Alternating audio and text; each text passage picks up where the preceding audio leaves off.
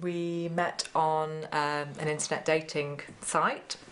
Um, I'd been single for a while and thought I'd try my luck. We met at Tai Chi. There was this class we used to go to every morning in the park.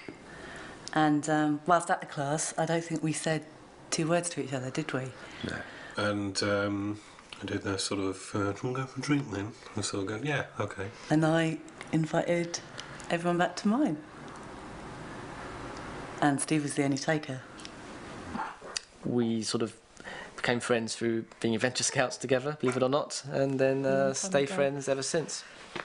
We met at, um, at college. Um, I was Tony's manager, and uh, we met in the art department at, at the college. We're both teachers. and we've uh, always sort of been going out with other people and then we found each other um, single at the same time and um, rest is history I guess. Yeah.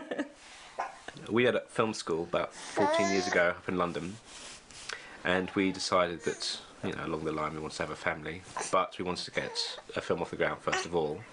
I always remember on, on your profile, Simon's profile, it said children, and he'd put not sure or undecided. And I was like, mm, you know, trying to psychologically read into what this means. Right. Well, That's a bit of a story. it's a bit of a story because we didn't really plan it that well. Um, We weren't really trying for a baby, we were trying to move house. I had polycystic ovaries. I'd been diagnosed about 10 years earlier. So I knew it wasn't going to be quite that simple to get pregnant, and I knew that we might need some medical intervention, or I would, um, either surgery or medication.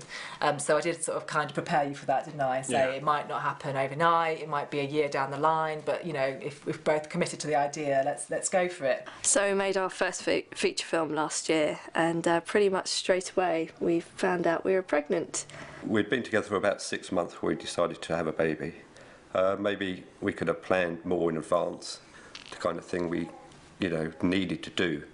Um, but we just thought we'd get on with it, I think, and, uh, you know, let the natural things take over, really.